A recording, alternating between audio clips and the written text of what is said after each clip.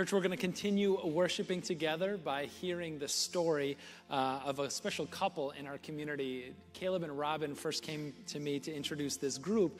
They called it Super Tuesdays, which is an awesome name for a group. And I said, What are you guys going to do? And they're like, Well, on Tuesdays, we're going to get together. We're going to eat spaghetti because it's the literal cheapest thing we can serve some young adults. And, uh, and we're each going to have a copy, an old copy of a commentary on a book of the Bible. And we're each going to take one commentary, read it, and be ready to present like that commentator's perspective on that chapter of the Bible and doing it a book at a time. We're going to start with Ecclesiastes. And I said, That's a terrible idea, and the group is never going to work. Seven years later, I'd love for you to hear their story. I'm Caleb, and this is. I'm Robin. We moved to Michigan about eight years ago. Um, we have lived lots of places over our married life, and this is the longest we've ever been in one place That is true. ever. Yeah. You know? Yeah. So, and then moving lots of different times. Some of our moves were for very defined periods of time. We were going to be in a particular city or whatever for two years, three years. Mm-hmm. And we often, always moved knowing nobody where we were going. Mm-hmm. And so, our best way of getting to know people, building community, and then growing in our faith was to find a church and dive in head first. Join a group ASAP. Yep. yep. Super Tuesday is the small group that um, we've led for the last seven years. Um, and they meet in our home and we meet on Tuesday nights. That's why it's Super Tuesday. And we usually share dinner together unless it's a pandemic. And then we um, talk about a passage of the Bible that we've all read. Um, there are times when we're gone for one reason or another, and still meet. We sometimes still meet in our house. Mm-hmm. Um, it's the best night of the week. Yeah.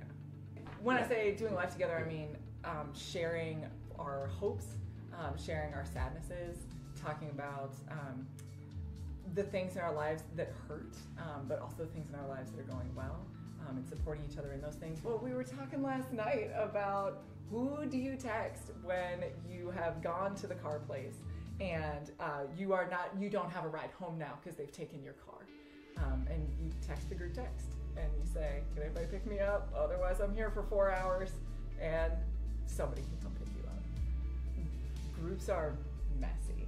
I think one of the things that can happen to us is you hear about someone's good group experience, and then you go to group and it's a bunch of weirdos, um, and you never want to go back, or you go and it's an awkward time, or childcare doesn't work out, whatever it is. Groups are really messy, and because it didn't work the first time, you think it will never work, and you, you don't want to go back.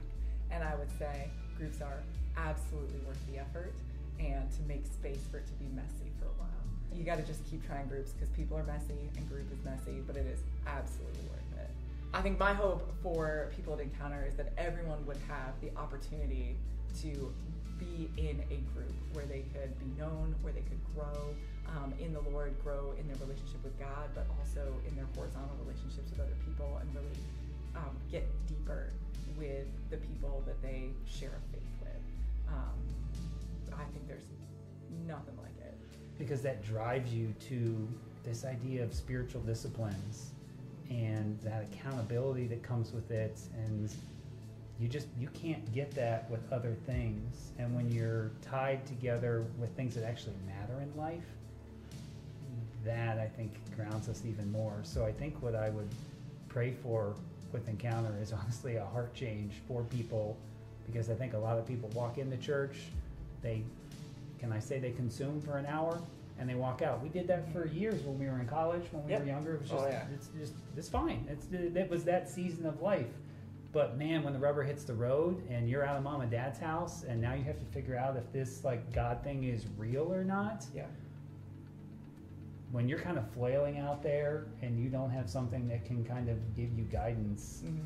you know, I think that's something where groups helps you with that spiritual maturity. That's just hard to get a different way. Yeah.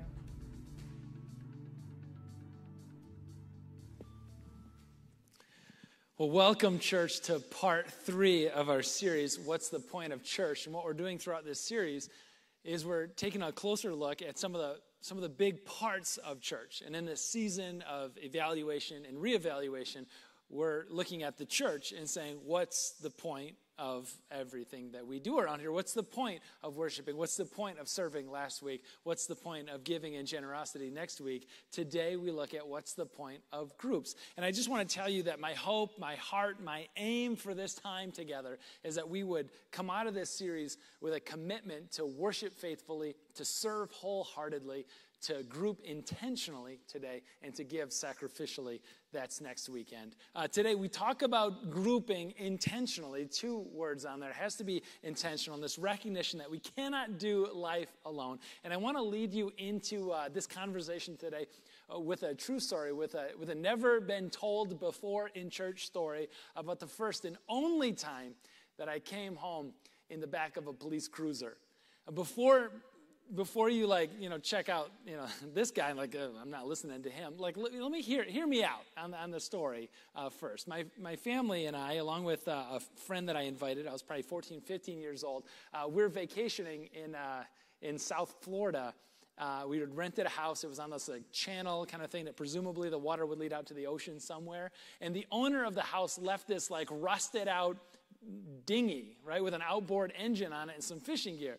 And so my buddy and I, again, 14 year old geniuses, we're like, all right, we'll use the fishing gear as the excuse to like drive this thing around the ocean. It's going to be amazing. So we like load up tackle boxes, fishing pole, other stuff. Neither of us were like fisher people at all, right? So we're like, I don't know how this kind of works, but like just put everything in the boat, open it up, and like let's go. We got out of the channel, we got into the uh, the open ocean, right? The Gulf of Mexico, and it is awesome, right? Forget about fishing. I mean, we're like opening it up and like skipping across the waves. We've got the wind in our hair. We've got the open ocean, right? The smell of salty freedom is in the air we decide somewhere along the ways like we should actually try fishing. Well, maybe we'll catch a you know, marlin or a shark or something. Again 14 year old geniuses. No idea how this works.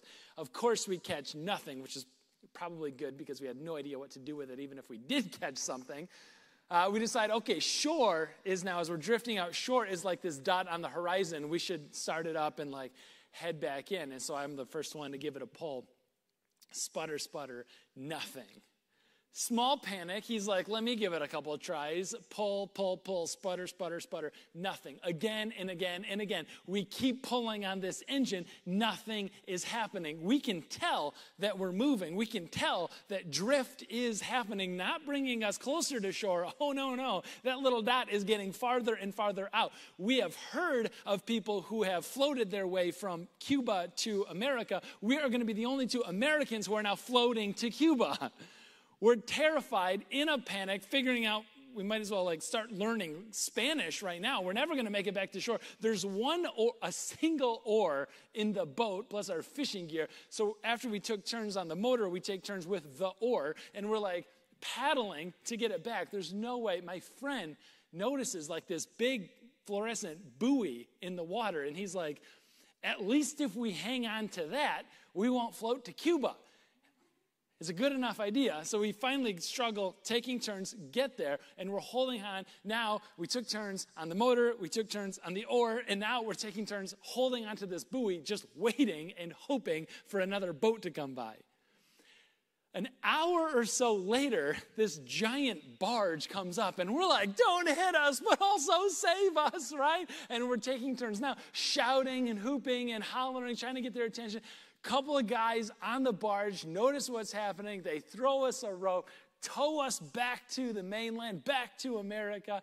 We have no idea where we are. We don't have any idea where we're going, how to call anybody in the place that we're going. So we're standing in front of the payphone because cell phones weren't a thing then. Remember that? And we dialed the only number that both of us had committed to memory 911. and so the 20 something years later, I would like to thank the Clearwater Police Department for bailing me and my friend and our fishing gear out of that particular jam. Never did go back for the dinghy. Never, too many bad memories. Throughout the experience, taking turns pulling on the rope, taking turns on the oar, taking turns hanging onto the buoy, reflecting on the experience, I can tell definitively I'm glad I wasn't doing that alone as bad as an experience as it was, thinking that I'm just going to drift out into the ocean and everybody is going to forget about me, as bad as that was, I can definitively say, I'm glad I wasn't journeying through that all by myself.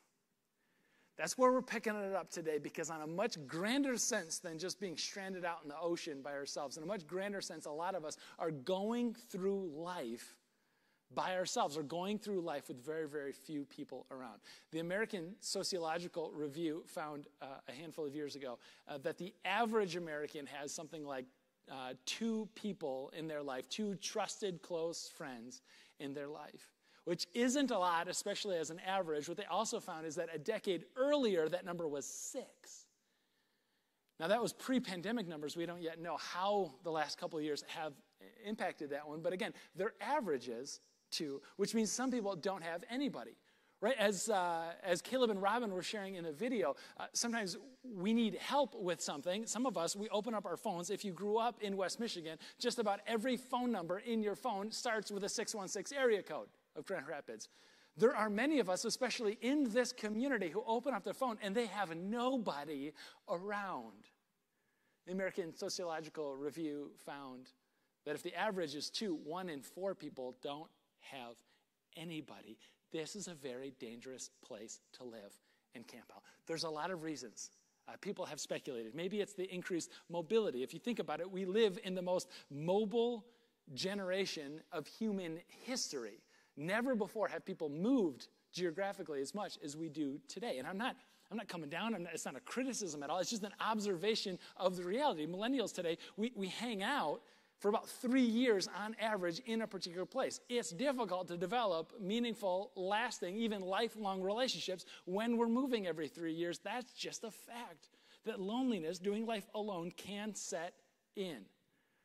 There's another reality. People have speculated that modern conveniences have also increased this pandemic of loneliness. That um, the conveniences, when homes began to be built with central air and also attached garages, is like the switch that flipped, and life outside of the home, life migrated from the front porch to the back deck. And what does that do for getting to know our neighbors and the communities and the neighborhoods that we developed? Loneliness begins to set in. It's dangerous to do life alone. I remember as a kid, um, you know, we think about the individual, individualized entertainment that has also come up. I remember as a kid, uh, I had to, I had to get up early on Saturday mornings to watch Saturday morning cartoons.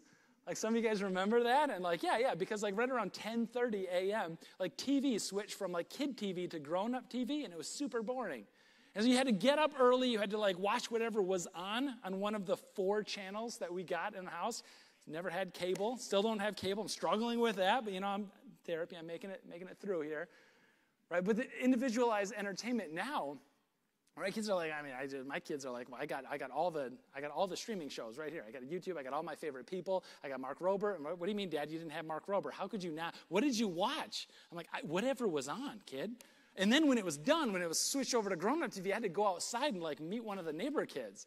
It didn't matter if we didn't have anything in common. Like, we just had to get to know, we were friends because we lived close by.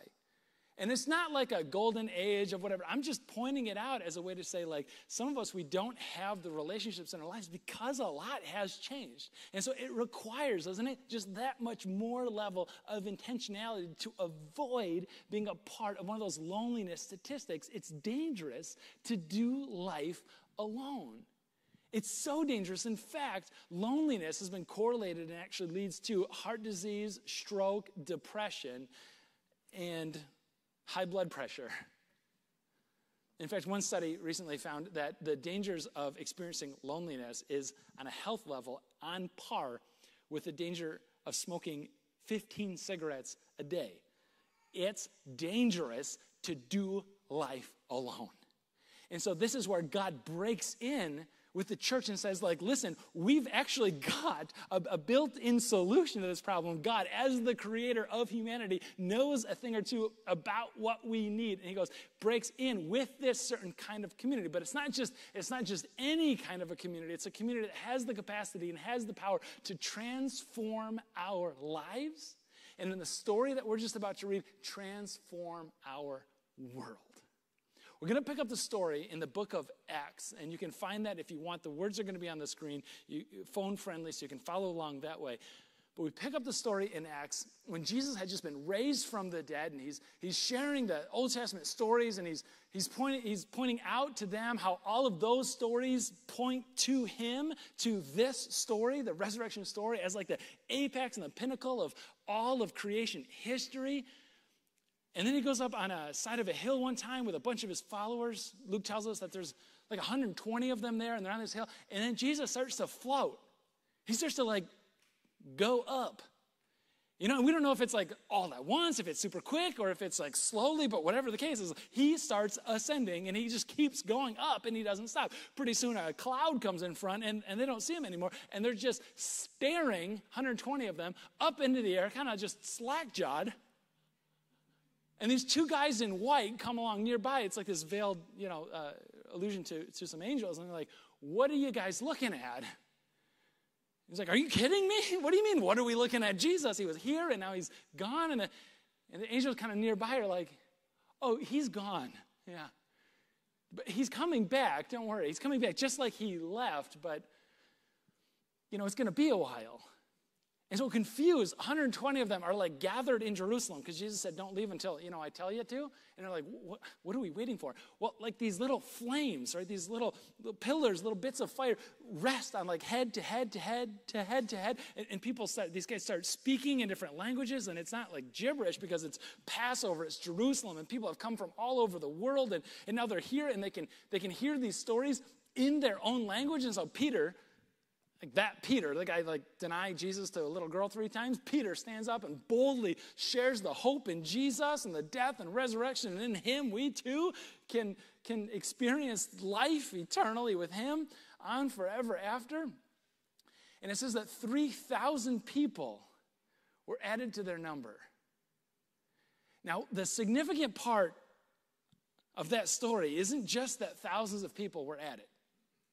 Like we get hung up on that sometimes, right? But, but we have seen times when thousands of people have raised their hand. We have experienced times when, when lots and lots of people have come forward, even to, even to be baptized. Like we've seen that before. What's never been seen before isn't just that 3,000 people put their hope in Jesus, but that all of these people in Acts 2, verse 42, devoted themselves they devoted themselves to the apostles' teaching and to fellowship, to the breaking of bread and to prayer.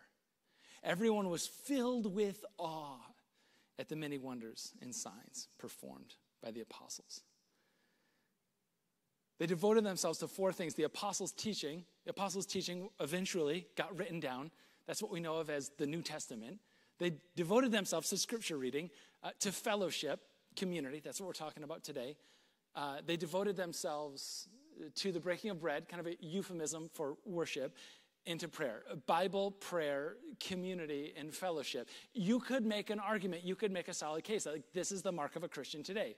Bible, prayer, community, and worship. Verse 44. All of the believers were together and had everything in common. They sold property and possessions to give to anyone who had need. We're coming back to that. Verse 46 Every day they continued to meet together in the temple courts. They broke bread in their homes and ate together with glad and sincere hearts, praising God and enjoying the favor of all the people. And the Lord added to their number daily those who were being saved. You may have heard of this passage before in Acts 2, and we can come at it from a lot of different angles. Today, we're going to come at it from the angle of community, of intentional kind of community. Because the kind of community that has the capacity, the Jesus sort of capacity to change your life and even to change the world, as we've seen from this story, is a special kind of community. In fact, it's, it's got a few elements together. This is not the kind of community that's just a, a Bible study or a shared hobby or just a community devoted to avoiding a sense of loneliness. This is a God initiated community that changes our life and even changes the world. It's got three parts in the story, and I'm going to break those down in just a minute. The first part in the story is that it is distinctively Christian. I want you to hear verse 42 again that they devoted themselves to Bible reading, to prayer, to worshiping together, and to community with Jesus at the center. They devoted themselves. It's this kind of Christian community that is distinctively Christian with Jesus at the center. Now, there's lots of ways that we can find community in the world. uh, a lot of us are a part of a fantasy football league, and that's awesome. I am not against fantasy football, basketball, whatever the deal is. That's great. But what I'm saying, it, it doesn't have the capacity to change our life and change the world. It might keep loneliness at bay just for a little while, but it's not going to change our lives. A lot of us have a group of friends that we can text and go out to brunch with. I love that. Brunch is the best. I don't know why there's any restaurants that exist that aren't brunch for the life of me. However, even brunch doesn't have the capacity to change our life and change the world. Maybe, I, no, no, I'm sticking with it. Even brunch, right? It's this distinctively Christian kind of community. Not the fantasy football league, not the friends that you text when you want to go shopping. It's something more than that. And it's, it's awkward and it's slippery to get into. I mean, that's what Robin, in the testimony that we just heard, that's what she shared. Of saying, like, this is tough. You know, it doesn't happen naturally, like the brunch group, like the fantasy football group. Those things just happen organically and naturally. Why does, why does intentional community, why does grouping intentional, why does distinctively Christian community, why does it have to be so hard? Shouldn't it just happen?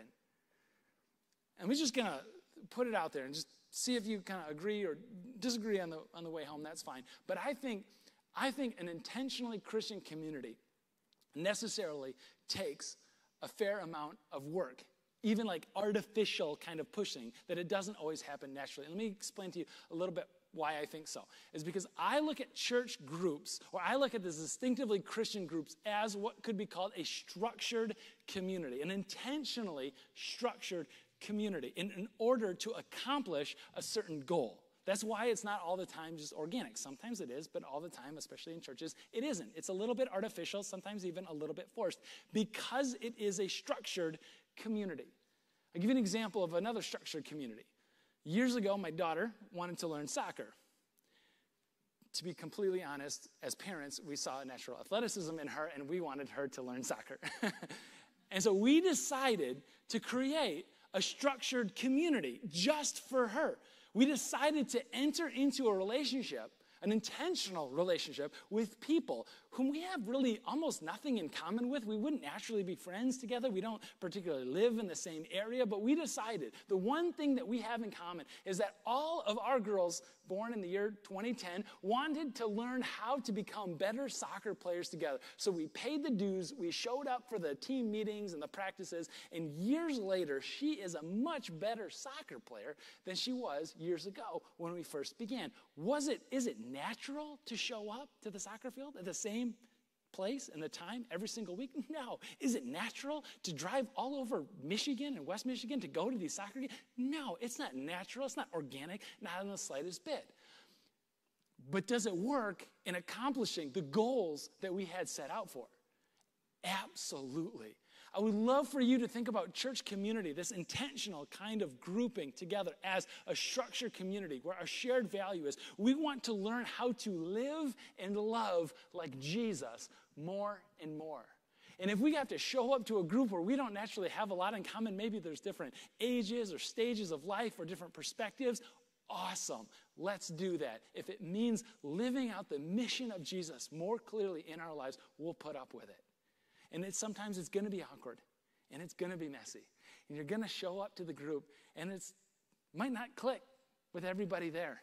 And you might show up next week and the next week, and by the end of the eight weeks or however long it is, you might show up to the group and it's like, I don't know if I really clicked with very many people at all. Nothing really much happened in the group. This is like the secret. This is the secret of the group.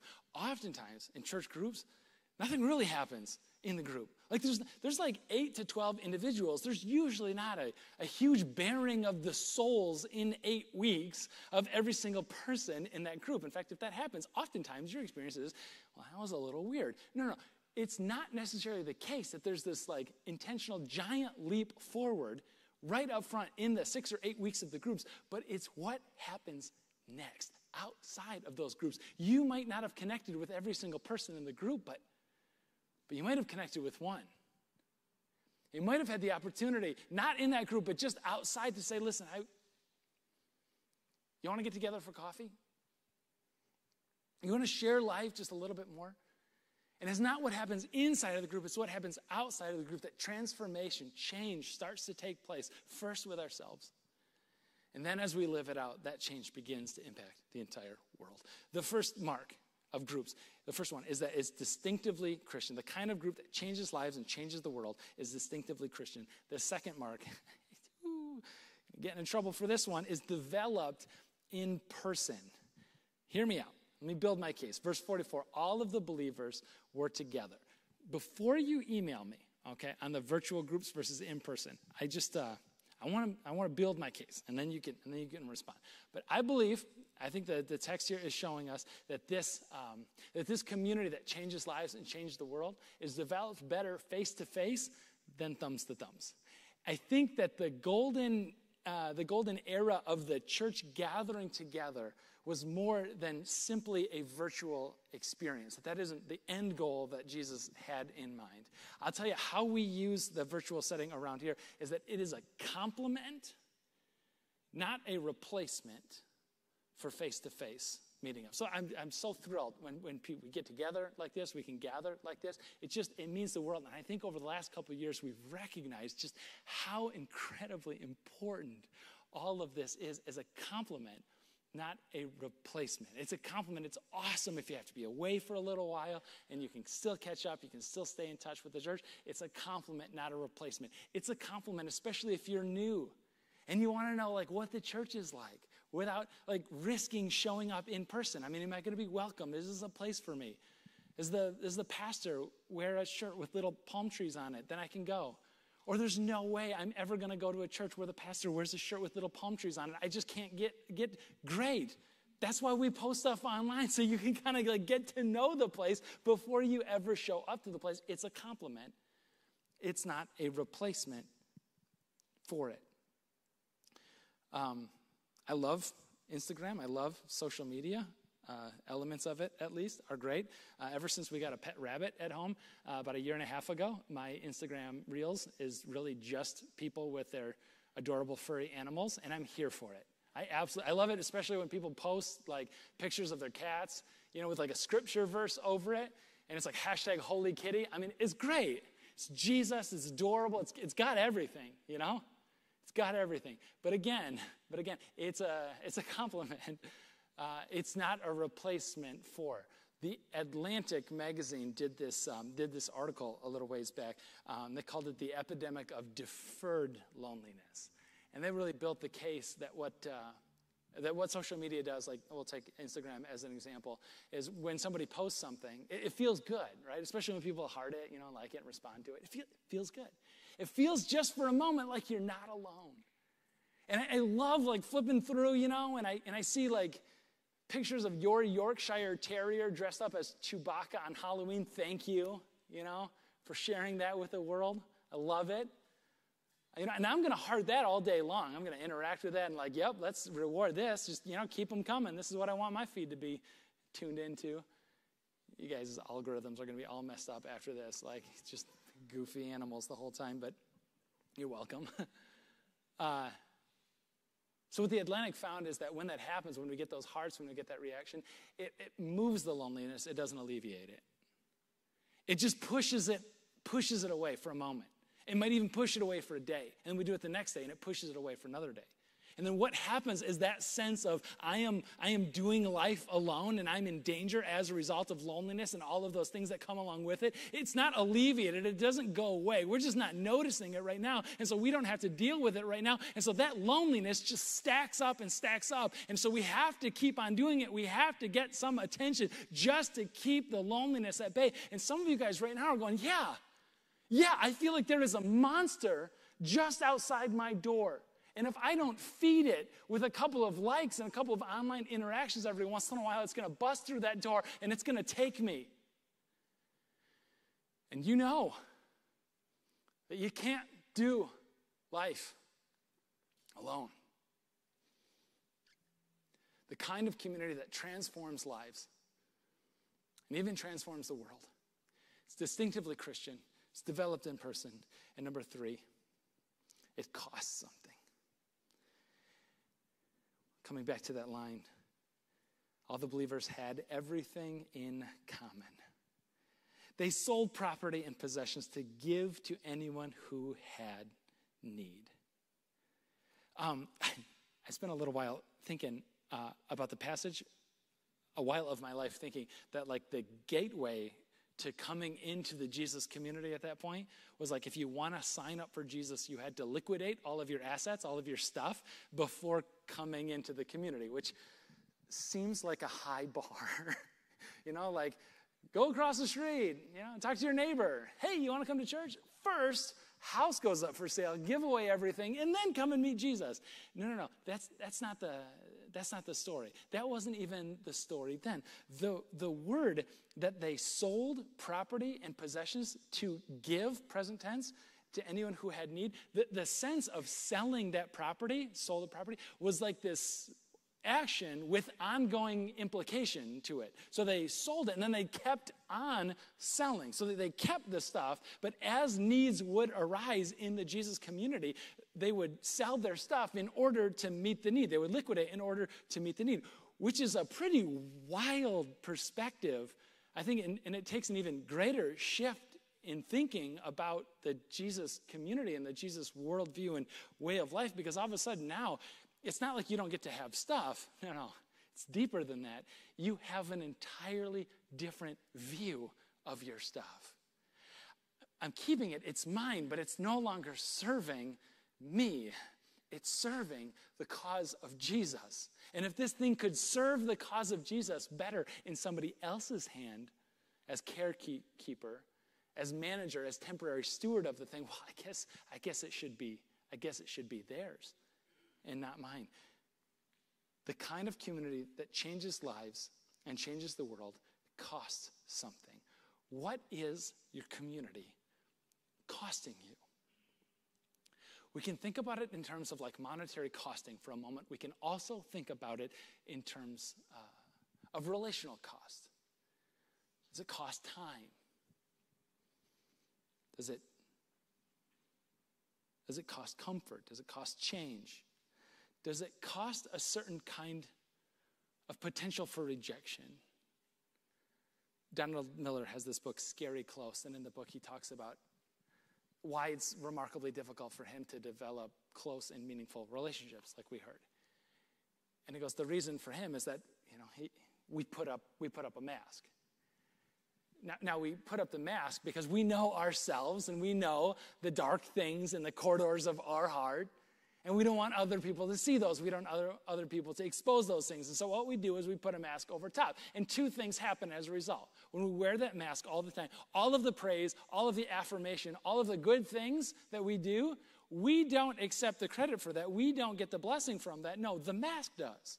Because we had put the mask up. And so it becomes like a wall. It was meant to keep others out, but now it's a wall keeping ourselves in.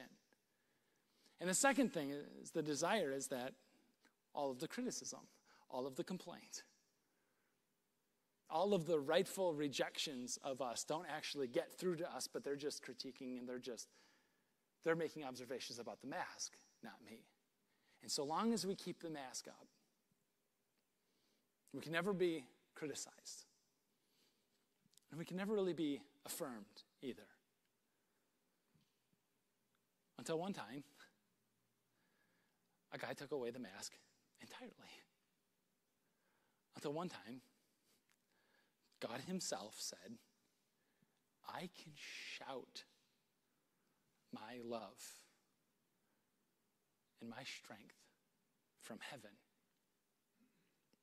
But instead, I'm leading the way by showing my love, by connecting here on earth. We impress people through our strengths but we connect with them through our weakness. It shouldn't be lost on us. As we think about the relational cost, the potential for rejection, it shouldn't be lost on us that we serve a God who allowed himself to become obedient to death, even death on a cross, who died hanging naked on a tree to connect to meet us where we are. And when we enter into that group setting and we open ourselves up and we, by the power of God, take that mask off and set it aside just for a moment, what we do in that, in that moment is, is we connect. It's easy to impress people with our strengths, but no, no, connection is done with our weakness. You can't do life alone. You can't do cancer alone. You can't do depression alone. You can't fix a marriage alone. You can't dig yourself out of the financial mess that you got yourself in all alone. You can't do life alone. And at Encounter, like many churches, you don't have to either. So we set up a number 94,000. You can text EC groups, and we'll do our best to put you in one of those structured relationships into one of those groups today. EC groups to 94,000. Anytime during the message, anytime during this last song, 94,000 EC groups. We want you to do life with other people because you can't do life alone. Now, listen, there's a trampoline on the stage, and I recognize that. And you may have been wondering, what is the deal? When are we going to get to this one? Uh, the answer to that is right now. I got to watch it on this thing because it is all bent up and it is not OSHA approved, but that's okay. I wanted to share that every time we gather here together during this series, um, a picture about what the church is like, what the church could be like at our very, very best.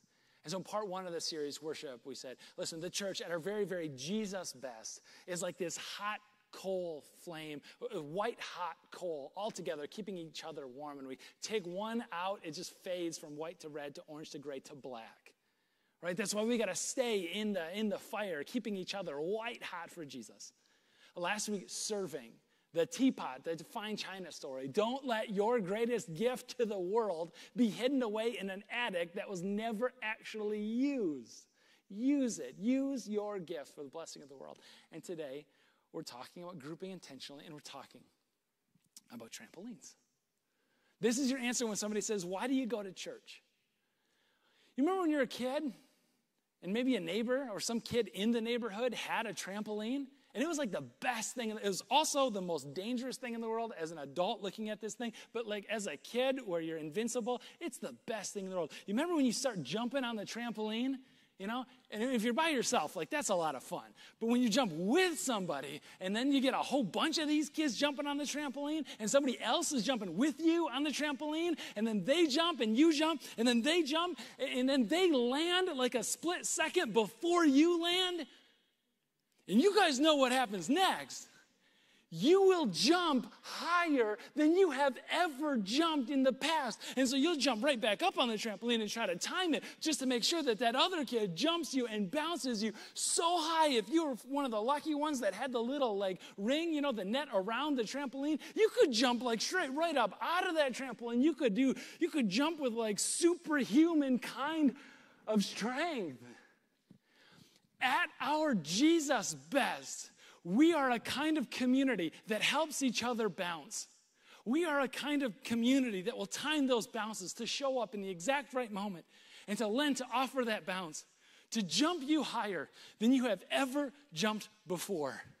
Or if you are jumping in life and you are out of control and you are caught up in something that you have no business being caught up into, and you are living your life on the very, very edge of it, there will be somebody nearby you by the grace of God to take that bounce and to just slow you down and to stop you in the tracks and say, man, you got to reevaluate that.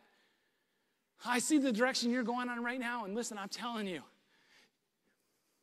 you can jump, but when you hit the ground, it's going to hurt. At our Jesus best, the church is a trampoline to help us jump better than we have ever jumped previously. And sometimes we get to see a picture of it, helping each other jump. It's amazing. Right here in our community, there was a gentleman who, uh, who walked out of a, a men's book study. Uh, they were studying the book, The 10 Second Rule, which is pretty straightforward. I don't know if it needed a whole book, probably like a good paragraph. But the 10 second rule is uh, 10 second rule is when, when God lays something in your heart and it's you, you can reasonably believe that it's from Jesus, that it honors him, do it within the first 10 seconds or you're not going to do it at all. Just be obedient. Be obedient to God's leading in that way. And so this, uh, this gentleman walks out of the group and he's, commitment. I'm going to do it. I'm going to listen to Jesus, the 10 second rule, within 10 seconds. And he goes out of church. He's worshiping at Encounter Fulton Heights, and, and he meets a guy several, say this delicately, several decades his junior, right? And there's a lot of barriers there. There's a lot of like intimidation on both sides. Like, do I connect to this person? Can I? And he just senses this nudging. Like, maybe I should invite the guy out, you know? Hey, I recognize, yeah. you want to get a cup of coffee sometime? Just get to know each other a little bit more? The younger guy's like, yeah, I'd love to. And so they, they end up having coffee. They end up having another coffee and another coffee. They end up having a book study, which turns into a Bible study. About a year, almost a year and a half later, last weekend at Encounter Fulton Heights, Bernie, the gentleman on the left of the picture, got to read Josh's testimony as he goes under the water and celebrates the fact that he's going public with his face. We got a next picture of him coming out of the water, soaking wet, with his declaration that the death of Jesus benefits him and he's planning on spending eternity with him. Can we recognize this guy? Can we recognize Josh and Bernie? Last weekend, this is a picture of helping each other jump. Regardless of the barriers, regardless of the generational difference, the several decades in between, we're helping each other jump at our Jesus best. It's what the church does. Let's pray together. Jesus, the church was your idea. And sometimes we show up and sometimes we bump into each other and sometimes we get it wrong. Sometimes we simplify it just to a social group or a place to find friends. God, it can be those things, but it doesn't. But it shouldn't be. It should be something so much more. It should be distinctively Christian, gathered around your name. God, it should be done face to face, sharing life together. God, it should be done with an element of cost and sacrifice. That we are all in for you, Jesus because you went all in for us first. Jesus, we pray all of this in your resurrected name. Amen.